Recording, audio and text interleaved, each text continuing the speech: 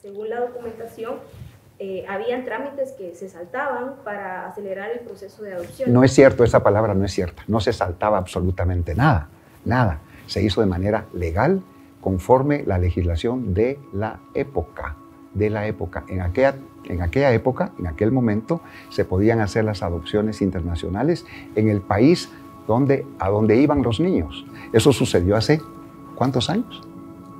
42 años, 42 años. Fue una acusación falsa, absolutamente falsa, sin ningún fundamento.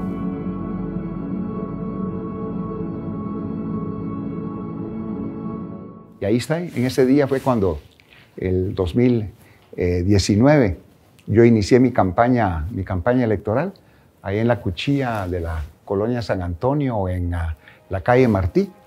Ese lunes, cuando se inició la campaña electoral, ahí salí con una pancarta y así recorrí el país con esa pancarta.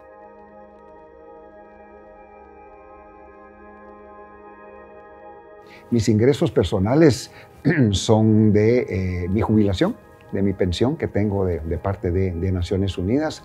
No tengo otro ingreso, eh, no tengo casas, no tengo apartamentos, no tengo fincas, no tengo granjas, no tengo bodegas, no tengo acciones. Mulet, presidente. Diferente es porque yo soy el fundador del partido.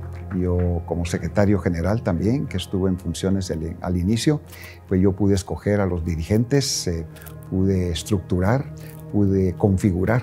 En el otro partido anterior, pues yo era más que todo un invitado, yo no formé parte pues del proceso de fundación o de, o de organización. Yo soy totalmente reacio a los círculos, a esos ah, grupos que se eh, aglomeran alrededor de un candidato presidencial o alrededor de un presidente. Eh, y aquí no existen esos círculos. Hay varios grupos de personas, de consejeros, de profesionales, de gente con experiencia, hay grupos de mujeres, hay bueno, gente nueva y yo consulto con todo el mundo. Aquí tenemos una mujer, otra mujer.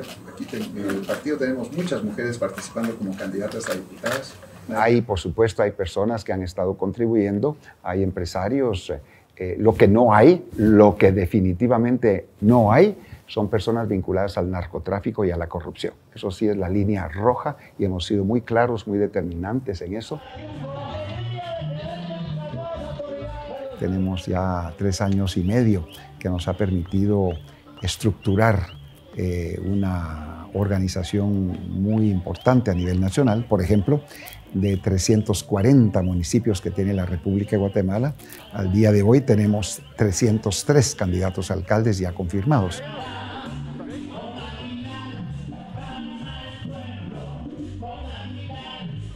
Lo que queremos hacer en Cabal es poner el Estado y el gobierno al servicio de la gente. Para eso se constituyó el Estado, para eso se constituyen los gobiernos, para trabajar para la gente.